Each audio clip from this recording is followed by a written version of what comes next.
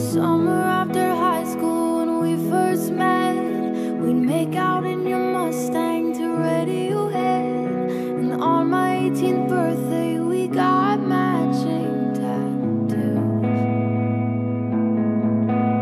Used to steal your parents' liquor and climb to the roof. Talk about our future.